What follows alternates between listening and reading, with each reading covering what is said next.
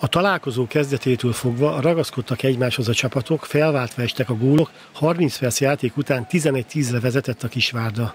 A második játékrész közepén három góllal ellépett ellenfelétől a vendégcsapat, de a fehérváriak nem adták fel, és a hajrá kezdetére ismét egyenlő volt az állás.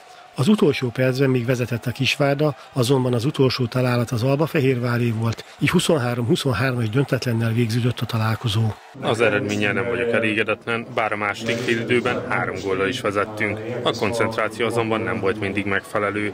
Volt, aki nem oldotta meg a rábízott feladatot, de ebből is tanulunk, legközelebb majd másként lesz. A hazaiak edzője a mérkőzés képe alapján elégedett volt a megszerzett egy ponttal.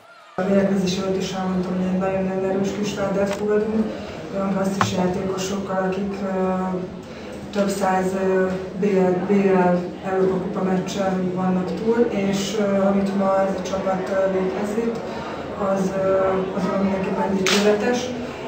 A második fél időben egy picit elengedtük, amit ugye az ellenféledző is említett, ott volt egy gyenge periódusunk, hol nem találtuk meg a támadó játékban a, a befejezéseinknek a, a pontosságát. De ezen nagyon jól átlendültünk a védekezésben, az nyitott uh, falos védekezés az uh, nagyon jól működött. Ebből tudtunk labdákat szerezni és visszajönni a mérkőzésbe. Úgyhogy mindenképpen egyrészt példamutató, másrészt meg uh, olyan szempontból bizalmat kell, hogy érezzenek a játékosok, hogy ez a, ez a munka, meg amit most haladunk keresztül, azt gondolom, hogy ez a jövő útja.